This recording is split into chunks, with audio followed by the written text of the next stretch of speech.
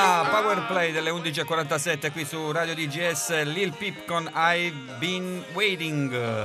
E allora eccoci qua adesso come sempre insomma quasi in chiusura. L'appuntamento è dedicato alla pagina sportiva. E con me in studio, lo dico per chi ci segue attraverso la radio in 95.3 in FM o sul nostro sito www.radiogs.net, ci sono in studio il direttore sportivo Nicola Pucci Buongiorno. e il centrocampista Enrico Stamato. Buongiorno a tutti. Per chi ci segue sul canale 191 del Digitale Terrestre invece vede che il nostro studio così alla- al completo. Pagina sportiva, dunque Praia Tortora, campionato di prima categoria Girone A. e io partirei mh, prima di andare a conoscere, perché stiamo un po' conoscendo un po' tutta la squadra del Praia Tortora. Abbiamo avuto Angelo Petrone, il portiere Mattia Marino, adesso siamo passati al centrocampo con Enrico Stamato. Però partirei prima con il direttore sportivo eh, Nicola Pucci perché il- oggi eh, si disputerà il- mm, la partita di campionato contro il Mirto Crosia, quindi in casa. E tra l'altro eh, nel calendario eh, è il turno di riposo del Real Sant'Agata. E al momento comanda in classifica il Real Sant'Agata con 54 punti, se non sbaglio, Eh, 55, scusi. E il Predator quindi ha la possibilità di eh, riprendersi la vetta eh, qualora ci sia un risultato positivo, giusto? Assolutamente sì. Eh, oggi una partita difficile eh, che dobbiamo affrontare con la giusta attenzione perché nel girone d'andata in quel di Mirto abbiamo fatto fatica, abbiamo affrontato una partita complicata. Siamo riusciti a portare a casa il bottino pieno, quindi conosciamo i nostri avversari e ci siamo preparati bene per affrontare questa partita al meglio. Certamente, eh, così come ti dicevo eh, la volta scorsa, ehm, un po' per indole, un po' per il mio credo calcistico, non amo guardare indietro, ma preferisco guardare in avanti e Ma penso abbiamo già, che... abbiamo già ribadito più volte insomma, che ormai nel campionato il Praia Tortoro è padrone del suo destino, insomma, se vince tutte le partite. Assolutamente sì. fare. Però Guar- è chiaro che questo è un input importante, insomma, oggi è la partita al di là delle, delle difficoltà che può mettere in campo il Mirto Grosia, cioè c'è questo pensiero nella squadra o non deve esserci proprio? Ma guarda, eh, io penso che mm, la squadra ha raggiunto una maturità tale per affrontare le gare eh, con tanto equilibrio e con tanta consapevolezza. Ritengo che, eh, così come hai detto poco fa, eh, ancora ad oggi comanda il Sant'Agata fino alle 17, perché poi ritorneremo a comandare Ah, questa è il campionato. Da tifoso, da tifoso che ci auguriamo tutti.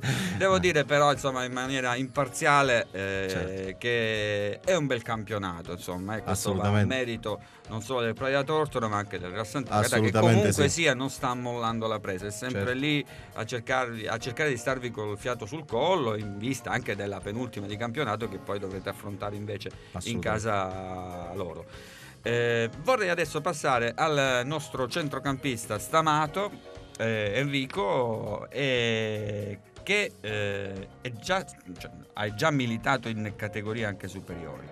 Eh, vincere un campionato non è mai semplice. Assolutamente.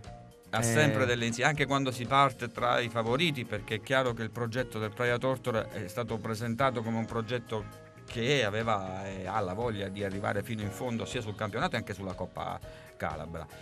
Ecco, questo ti ha spinto ad accettare eh, di venire alla Praia Tortora oppure non so, magari hai, tentennato. Com'è stata la proposta di arrivare al Praia Tortora? Mm, No, no, assolutamente. Io ho ricevuto la prima chiamata mm, più o meno a luglio del mister Roberto Mantuano insieme al eh, direttore sportivo Nicola. Sinceramente non ci ho pensato su due volte, cioè quando chiama una società come il Praia Tortora con delle ambizioni comunque eh, di vertice assoluto, perché comunque devi vincere.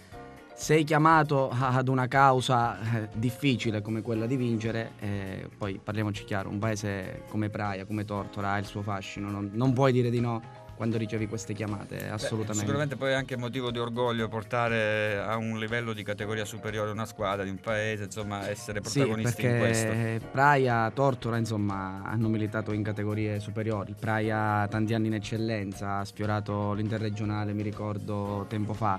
Il Tortora comunque me lo ricordo in promozione, ci ho giocato spesso contro, quindi è nostro dovere, nostro compito riportare questa squadra dove merita. Un Interland come quello di Praia, Tortora, con tutto il rispetto per la prima categoria che è un campionato tosto, però secondo me merita categorie superiori, assolutamente. Grande lavoro quello del centrocampo, no? Perché sì. Stamato viene soprannominato motorino perché ha una velocità impressionante ed è quello che garantisce le incursioni in attacco ma protegge anche la difesa.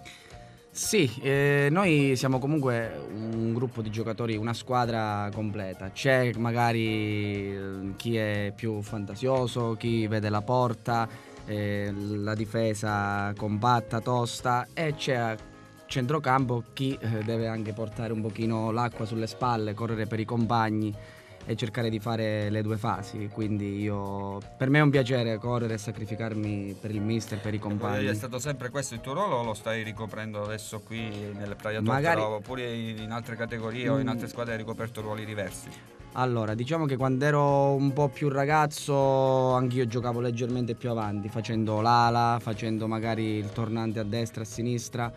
Poi col tempo mi sono adattato un po' di più a centrocampo, mezzala Comunque io utilizzo molto la corsa e, e in uno sport come il calcio la corsa serve, quindi magari sono un po' più duttile. È un ragazzo che mette il cuore quando gioca. No, insomma, eh, lo, lo vediamo. Tanto, quindi... Ricordiamo anche eh. che le partite, de, le partite casalinghe del Predator Tortora sono visibili anche sul nostro canale 191 al digitale terrestre, quindi mh, mm, o al campo o eh, è auspicabile che che la gente venga a vedervi al campo e però può anche poi rivedere la partita eh, sul nostro canale. Quindi le partite le abbiamo seguite, le, lo, lo, vediamo quanto cuore, quanti, quanti palloni recupera eh, quando la squadra è un po' sbilanciata, c'è sempre lui pronto con l'occhio, questo l'ho potuto osservare di persona, cioè, sta, sta, lì con l'occhio vigile se la squadra si, si, dovesse esporre a un contropiede. No, no, Correggimi se sbaglio. No, no, assolutamente non sbagli, però ti posso dire non lo faccio solo io, lo facciamo un po' tutti. Io ho visto gente come Ramunno, come Petrone, come Scoppetta che è arrivato da poco e comunque sono attaccanti, devono far gol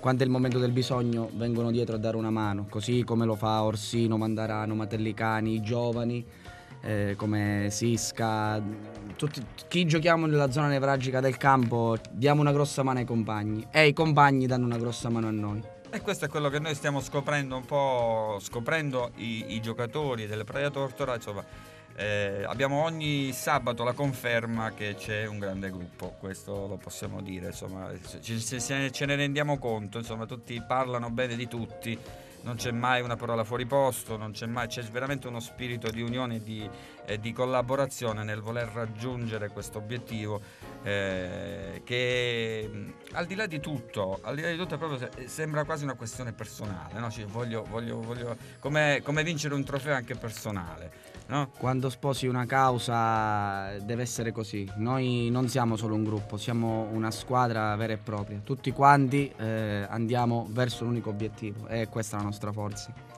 E allora grazie al direttore sportivo Nicola Pucci. Grazie a voi, buona giornata. Ad Enrico Stamato. Grazie mille. In bocca al lupo per la partita oggi. Viva il lupo. Viva il lupo, Viva il lupo sempre. sempre. E ovviamente poi vi rimando alla pagina sportiva di lunedì eh, con Francesco Ida, sempre sui canali di eh, Radio DGS.